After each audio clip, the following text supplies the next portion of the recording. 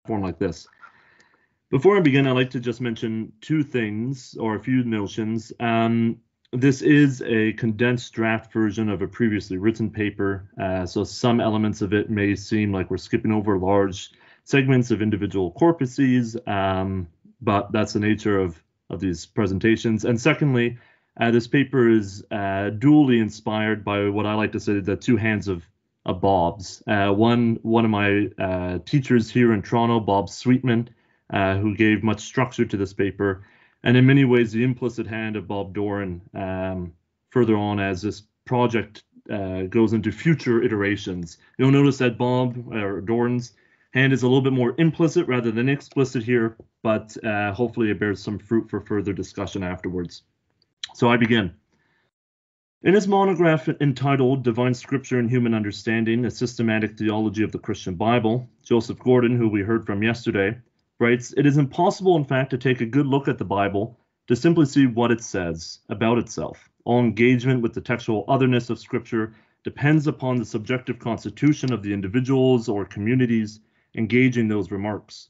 Casual use of the common catchphrase, the Bible says, can easily hide from hearers and readers a myriad of assumptions about the nature and function of divine authority which are inadequate as understandings of how God has actually providentially brought about and used Scripture in human history.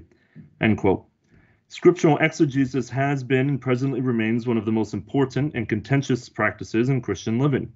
How individuals and communities read Scripture has influenced the interpretation of the Bible in an enormous manner of ways. These countless methods of interpreting the Bible have caused, and only for further perpetuate, denominational divisions within the universal Christian church. The divisions have given rise to a perception that the truths of the Bible have become fragmented as a result to the multiple interpretive lenses used to adjudicate their meaning. Gordon details perspectives that promote the idea that texts speak only through one interpretive lens tend to veil the plethora of assumptions we as readers bring to these texts. In the case of the Bible, such a position hides our assumptions about how divine authority is communicated and received by its human subjects. A text, an individual or communal adjudicated authority, determines the capacity for which that text is persuasive or enlightening to its audience. This raises the question Does authority, which is an indicator of a text's persuasive ability, come on uh, come behalf of the speaker slash historical circumstances that gave rise to the text, or does a text authority emerge in the reception to an individual or community? Is the Bible authoritative and persuasive because of the collective authority of the biblical writers, which, taken into account the many Christ- that many Christians hold in faith that the Bible is divinely inspired, or because the community who in faith read the words of the Bible then prescribe meaning and value onto the text? Depending on how we answer that question, does it illuminate something insightful about what the term the Bible says is really attempting to communicate? In his essay entitled The Dialectic of Authority, Bernard Lonergan details that, quote, authority is legitimate power, and that legitimate power is a product of cooperation, end quote. The communal practice of expressing particular narratives, interpretations, and meanings is one of the ways Lonergan identifies the authority of a community. Yet, when referencing the Bible, many Christian readers struggle with the apparent tension between Scripture's divine origins as the Word of God and the human act of interpretation. Instead, as Gordon alludes to throughout his monograph, many readers of the Bible approach the text as a static body of authoritative knowledge. However, in the witnessing in witnessing the vast varieties of biblical interpretations along denominational lines alone, we recognize this not to be the case. Therefore, in this presentation, I'd like to plant some initial seeds of thought for how we can go about understanding biblical authority as both spoken by the highest of authorities through divine inspiration and as actively given its persuasive power and, and meaning on the part of human reception. In other words, does the authority of a text emerge from the establishment of a credible speaker or from the reception from its audience? This presentation will introduce notions of rhetorical theory to begin to unpack these questions. In examining how the inter- internal rhetorical triadic relationship of ethos, logos, and pathos goes through a process of alteration in the movement from oral to written texts in the West, I will explain, or exemplify more rather, how we may begin to ponder the, about the origins of scriptural authority. In order to set tight parameters on myself, I will limit the analysis of rhetorical theory to the writings of Plato and St. Augustine for the time being. So, Plato and the ancient rhetorical context in which he emerges out of. Rhetoric has been conceptualized in a variety of ways by various thinkers in Western canon. Isocrates in the Antidosis, for instance, depicts rhetoric as a skill for the invention and collation of topics in order to speak truth in conversation. He distinguishes between three distinct modes of speech deliberative, epideictic, and judicial contexts. The deliberative mode is the communication of truth in public discourse and typically manifests itself in political dialogue of governments and policymaking. It is inherently persuasive as it attempts to convince an individual towards the right course of action. Epideictic rhetoric seeks to ascribe praise or blame using language, while the category of judicial rhetoric attempts to bring meaning to our questions of just actions. All three correlate to one another in temporal sequencing. Judicial rhetoric is concerned with events of the past and the evaluation as to the morality of those past actions. Epideictic is related to the praise or blame of an individual or community's present actions. And deliberative rhetoric is concerned with the persuasion of the individual or community towards certain future actions. All three, when properly conceived, should serve for the communication of truth in their unique forms of expression.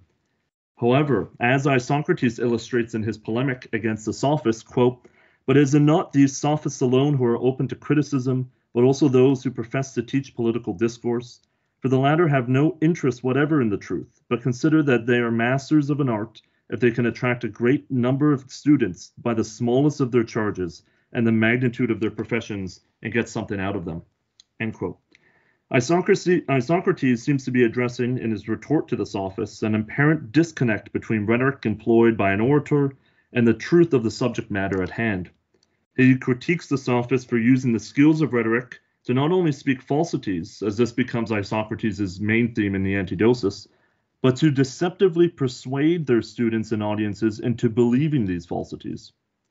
Under an Isocratean perspective, the nature of rhetoric is for the communication of the truth in either a deliberative, epideictic, or judicial mode. Hence, a perversion of rhetoric for the production of and the persuasion to falsity exemplifies an additional component in rhetorical practice that must reside external to its very nature. This means that rhetoric cannot be entirely accounted for under a rubric of an empirical method. Empirical methods, like the post Cartesian scientific method, prescribes a model whereby, when defined variables are recreated, particular truths may be exemplified. The term method, when traditionally conceptualized, in, in contrast to, as many of us know, maybe a more Lonerganian inspired one, is the identifying of a certain procedure that must be followed to ascertain either preliminary or conclusive results in a particular field of study or the completion of tasks in daily living. Method, once again thought of in a traditional manner, is an abstracted form that can be thought of devoid of any practitioner to meet uh, foreseen intended needs. However, the observation of rhetoric's perverted use, the production of an, uh, production and persuasion of falsity, while still meeting the qual- qualifier of success in deliberative rhetoric, for example, i.e., persuasion, thus illustrates something extra methodological in its components. Where traditional notions of methodology envisioned a model devoid of any human practitioner as constitutive to its overarching structure, the practice of rhetorical style is dependent on three seemingly external factors, which are thus assumed into the larger systems of operations. These deponents are captured in the Greek triad of ethos, logos, and pathos. The, in the initial triad, deliberative, epideictic, and judicial, represent the three forms of contextualized rhetoric whereby specific methods are implemented to meet the respective needs of their form, the latter triad of ethos, logos, and pathos speak to one, the credibility of the speaker, two, the truth of the content spoken, and three, the audience who receive what has been spoken.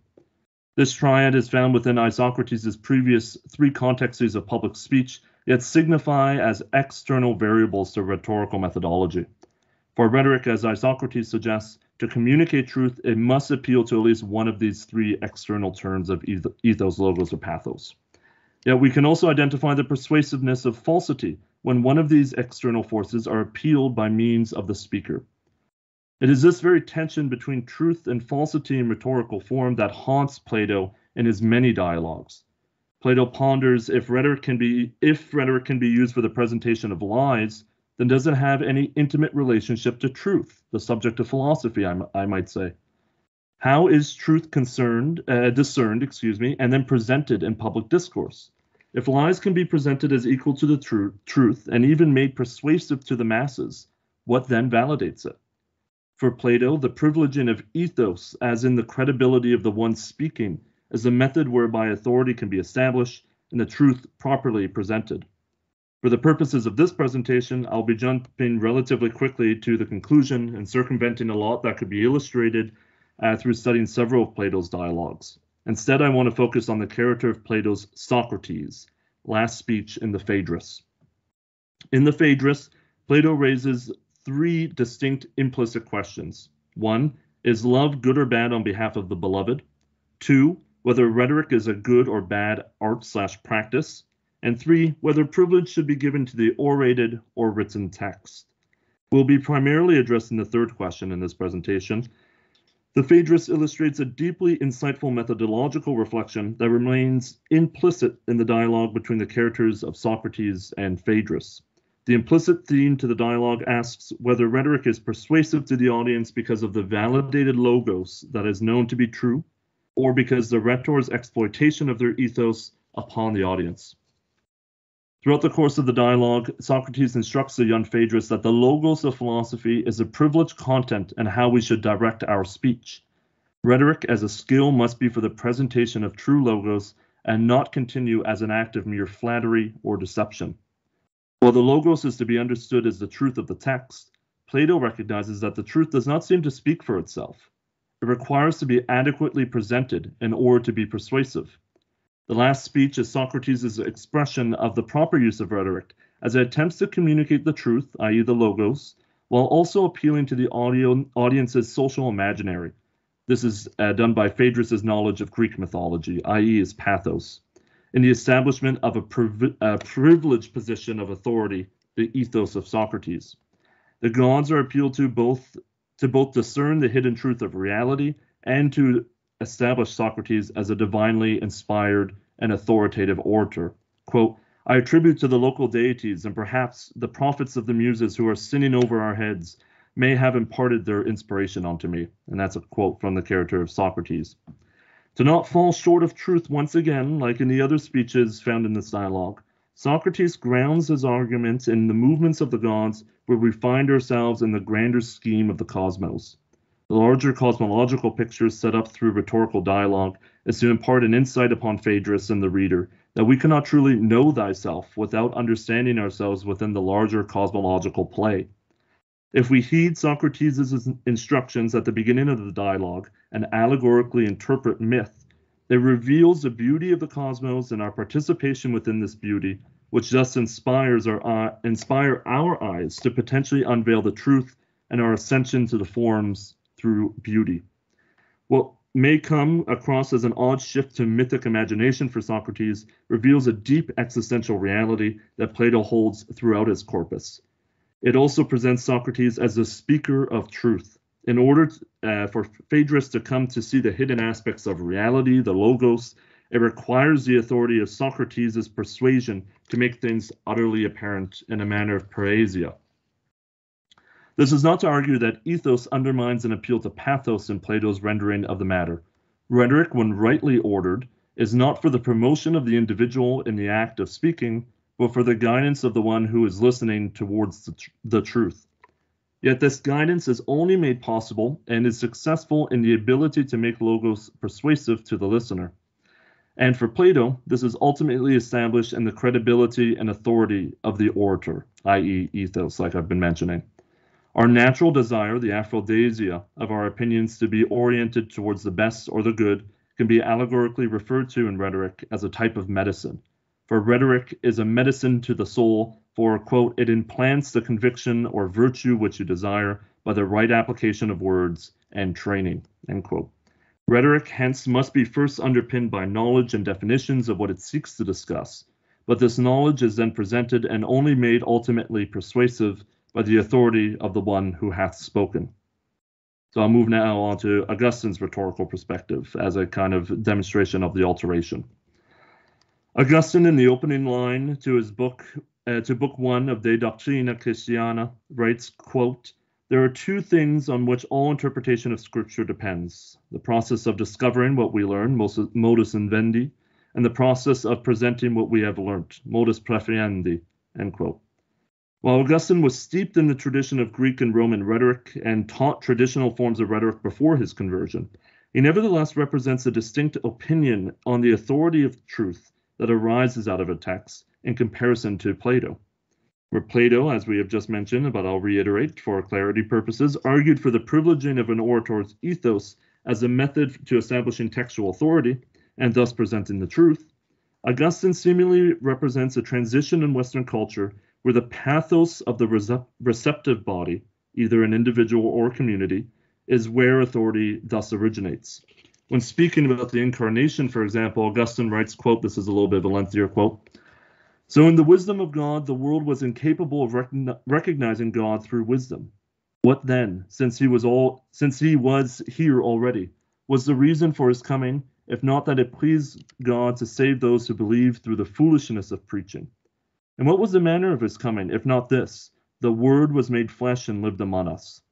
When we speak, the word which we hold in our mind becomes a sound in order that we have in our mind may pass through ears of flesh to the listener's mind this is called speech. Our thought, however, is not converted into the same sound, but remains intact in its own home, suffering no diminution from its change as it takes on the form of a word in order to make its way into the ears. In the same way, the Word of God became flesh in order to live in us, but was unchanged. Truth is available for discovery, according to Augustine, in the presentation of the Logos by the will of the rhetor or speaker. Yet this presentation must meet the audience in their own ways of life while ultimately remaining unchanged, metaphorically emulating Christ's condescension on taking on flesh.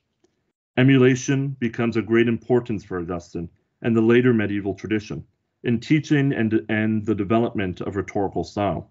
As James J. Murphy writes, quote, he, being Augustine, says at one point that rhetoric should not be studied by older people unable to do the drill or imitative work which is so easy for the young. Again, this is a for Augustine a, a, a interesting example here, and sometimes not entirely true.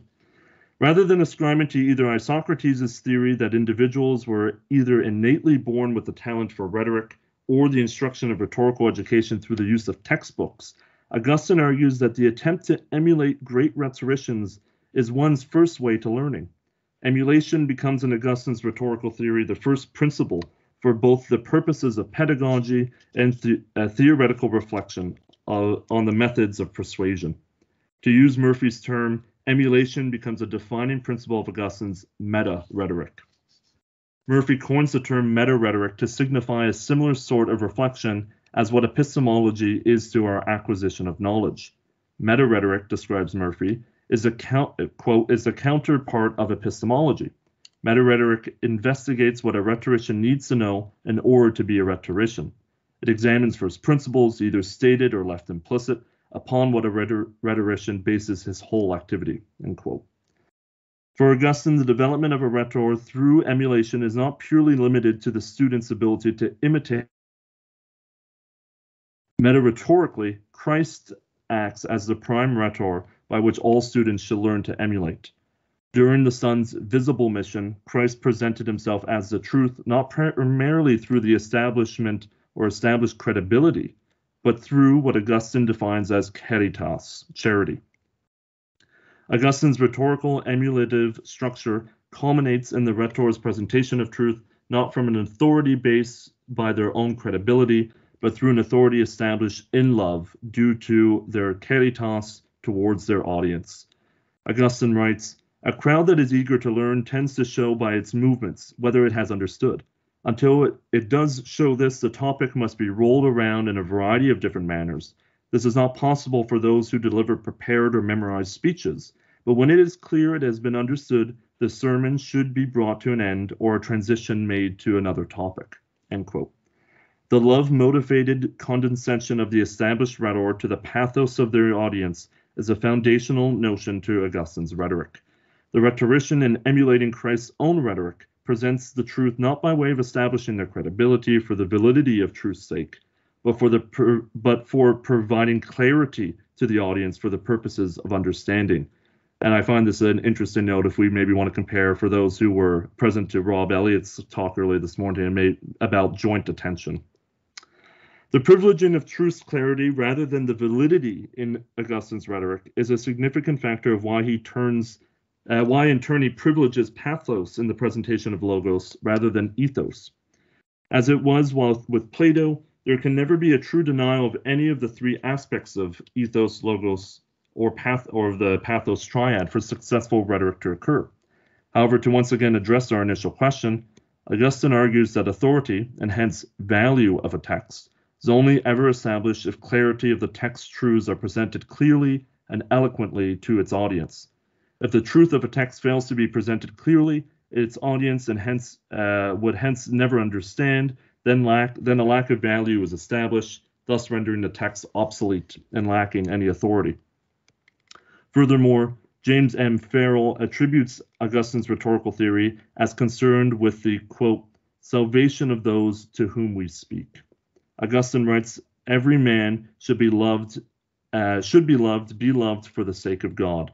Thus we teach we should desire that all enjoy God with us, and that all the assistance we give them or get from them should be directed toward the end." End quote. The rhetor then does not represent the deposit of truth whereby credibility must be established to validate the speech. Instead, the rhetor becomes a passive and clear presentation of the truth to the needs and exigencies of the audience. And I'll wrap up with my last section here. So the authority and textual mediums. So what are we to make of Plato and Augustine's two distinct positions in rhetorical theory? For Plato, ethos was to be the privileged term for the credibility of, of a text's truth through the re- uh, reputation of the rhetor. For Augustine, a successful appeal to an audience's pathos made in charity is to be regarded as a principle for providing clarity to a text's understanding. The clarity of the text's truth then would lead to the establishment of the text's authority. Given this, these two account, given these two accounts, what establishes the authority of Scripture? Do Christians hold in faith the truths revealed in Scripture because of the perceived credibility of its of its authors to the multiple books which constitute the Bible? Or do Christians find the Bible's authority in the reception and interpretation of the communicable truths of the divine mystery? In other words, does the Bible establish its authority through the means of appealing to its own ethos, composed of the authors and historical circumstances which gave rise to the text, or through its pathos, and the appeal to the faith based needs of the community in which it finds itself in. If we recall Gordon, who we started with uh, his reflection at the beginning, all engagement with the textual otherness of Scripture depends on the subjective constitution of the individuals or communities engaging those remarks. He seems to imply the latter.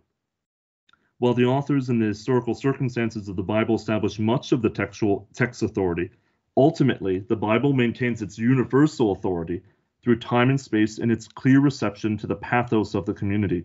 The Bible is rhetorically persuasive due to the modus proferendi of the rhetor who presents the truths of Scripture in an act of charity. Are we then to conclude that Plato is wrong and that his ethos based assessment of rhetor- uh, rhetoric's uh, efficacy is inherently flawed? Does textual authority, based on a theory that privileges the communication of logos through ethos rather than pathos, become obsolete in the light of a community's faith towards the communicability of a text truths. Rather, I wish to su- suggest that the transition in rhetorical thought between Plato and Augustine does not arise out of a dialectical contradiction. Instead, the transvaluation of an ethos to a pathos based rhetorical theory is a result of the differing mediums for which the two authors are contemplating. Plato's rhetorical theory was produced in a culture steeped in oral tradition, which favored the presentation of logos in its oratory form the the event in which the text or the text in the broadest sense, uh, uh, an or, orated text, uh, was facilitated um, was orated facilitated both the presentation of logos and its possible persuasion over an audience. The oral text required the credibility of the speaker to be intact for the reception of the logos to be considered valid and thus authoritative. As the orator knew the audience for which he was to speak to, the text could be preemptively contextualized to appeal to the pathos of the audience. Hence, the hallmark of oral rhetoric is the credibility of the author and in their historical situatedness. What Paul Ricoeur exemplifies, however, in the transition to the written word is that, quote, this inscription substituted for the immediate vocal, physiognomic, or gestural expression leads to the disappearance of the human character. In the written word, the specified spatiality of a text is dislodged from its situatedness in the removal of its anchor, the human voice, and is then fixated in the realm of limitless temporality. Quote, because the event appears and disappears, suggests Ricoeur, there is a problem of fixation and inscription, end quote. The written text can no longer rely on the authority of the speaker who presents its logos and must appeal to another condition in order to be considered valuable to the masses. The text, not by its own initiative, but by the reader of the written word, thus controls the authority as to whether the whether contextualize the logos of their texts to their own particularized pathos. Ricoeur identifies two uh, symmetrical changes which occur in the fixation of a text from their oral to written form. Quote, the relation between message and speaker at one end and the communication chain and the relation between message and hearer at the other are together deeply transformed when the face to face relation is replaced by the more complex relation of reading to writing, resulting from the direct inscription of discourse and letter. In oral text, the, mean, the meaning is designated by, human, by the human speaker who ascribes emphasis and who presents logos in a manner that brings about its validity. Oral texts allow, quote, the ability of discourse to refer back to the speaking subject and presents a character of immediacy because the speaker belongs to the situation of interlocution. He is there in the genuine sense of being there, of Dasein, end quote. That's Ricoeur. This results in the overlapping of the rhetor's intention, intentionality and the text's meaning. Thus, it is the same thing to understand what the speaker means and what the discourse means. And this is my last page. Bear with me. Written text, as it is the process of fixating the text out of its initial historical spatiality and towards a universalizing temporality, serves the context between the rhetor's intention and the meaning of the text. Quote, the disassociation of the verbal meaning of the text and the mental intention of the author, argues Ricoeur, gives to the concept of inscription its decisive significance beyond the mere fixation of previous oral discourse. The written text thus no longer maintains authority through the rhetor's intentionality, but instead upon the contextualizing capability of the receptive community. The inscribed word, disassociated from its original vocalized discourse, becomes vulnerable and in fear of being all but forgotten. Charity, on behalf of both the rhetor and who, who expounds upon the meaning of a written text, and charity on behalf of the listen, listening audience is the principle that must be maintained. The answer then as to where the Bible maintains its textual authority is ultimately determined by the form for which the Logos is embedded. Given its inscribed medium that we know, the Bible thus maintains its authority across time in its continual reception by charitable communities. The phrase, what the Bible says, thus is answerable not through the arbitrary appeal to the original author, for the written word has become disassociated from the ethos of their intentionality, but through the individual or community's charitable reading of the text, meaning, and the relationship it has with the, the cultural and historical contingencies of their own time. It is at this point where Doran would complement this train of thought quite fantastically. Where this where this research plans to continue is to see how rhetorical theory, which has has here attempted to evaluate authority in textual analysis, can provide further elucidation to Doran's work in Trinitarian theology. The gift of the Spirit in the form of sanctifying grace produces the habit of charity we have been engaging uh, with when reading texts. Therefore, the vulnerability of the spoken word, disconnected but not forgotten by the initial speaker, breathe upon us the conditions for elevation, which in turn pour our hearts in the communal love that births all form of charity. Thank you very much.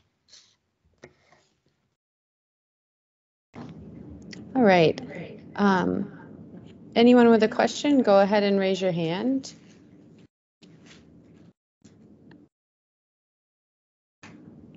Thank you. I see Richard's hand. Go ahead, Richard. Okay. Um, first of all, well, since nobody else put up their hand, I'll venture in.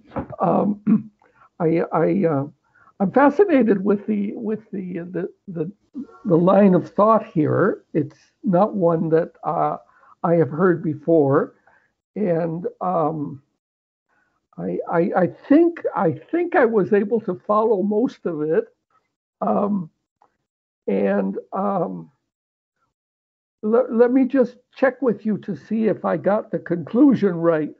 It seems to me what you're saying is that in the Bible, as we have it today, as a written word of God, the key element is the receptor in those who receive that word. Right? That's right. Yeah. And and that differs from a whole long history of the church turning to the inspiration of the original author, which has quite a different history. And um, you ground you ground your conclusion, I think, uh, in an option for Augustine. Okay, Who, who's who's a, a, pretty authoritative figure, I would say. um, but um,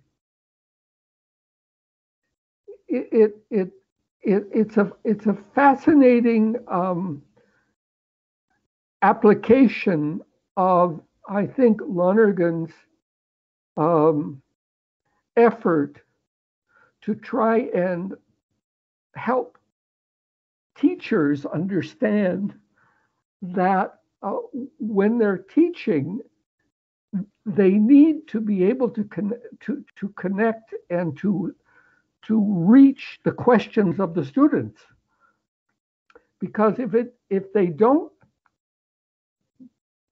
um, pay attention to the questions of the students, truth will never get communicated. Am, am, I am I sort of in the ballpark here?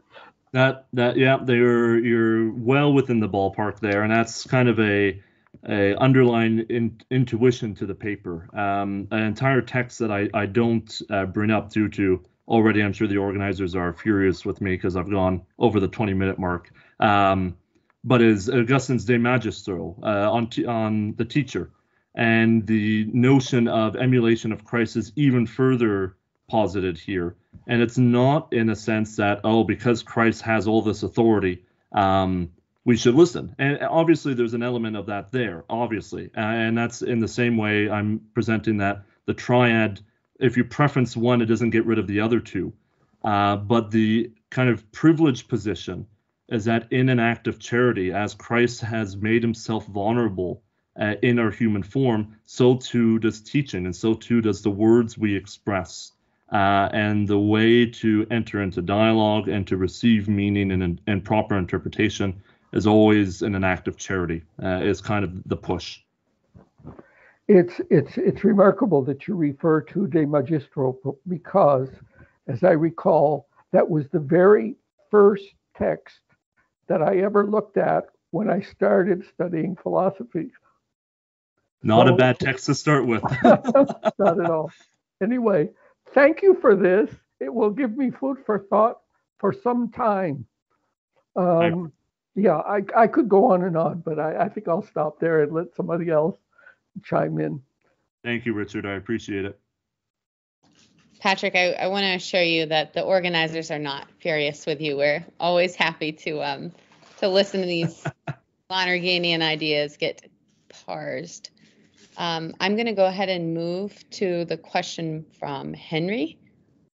Hi, thank you. thank you so much. Um, I'm not as well versed in the uh, Catholic texts beyond Lonergan, um, and what I'm trying to get out of your your discussion is that, uh, as the previous questioner asked, um, we seem to get distinct, separate truths if the truths are dependent on the audiences and their perspectives. That's what I'm taking from it. And I think when you get those distinct separate truths, it makes it difficult to say that there's an objective universal truth that we have come to. And I think that gives us an opportunity to synthesize those distinct separate truths that the different audiences have. And I think having those distinct separate truths contributes to the social surd that Lonergan talks about. And I'm wondering if you've contemplated what are some good techniques to resolve those distinct separate truths to help us get to the objective universal truth that I think we all seek. And I just throw it out on a secular basis, some opportunities to discuss that. One is utilitarianism as advocated in the book Moral Tribes, and the other one is John Rawls' uh, theory of justice. And I'm done with my discussion.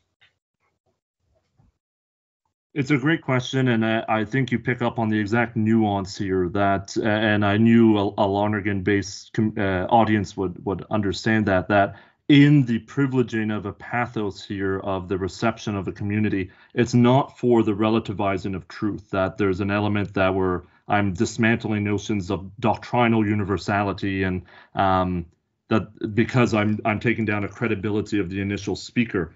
It's that the recognition um, that these universal truths are spoken in a way that bring about a privilege of pathos for clarity's own sake, that these universal truths are understand um, as means of a potential way for um, resolution of what could seem as dialectically opposed, or to use um, Doran's own word, contraries rather than contradictions.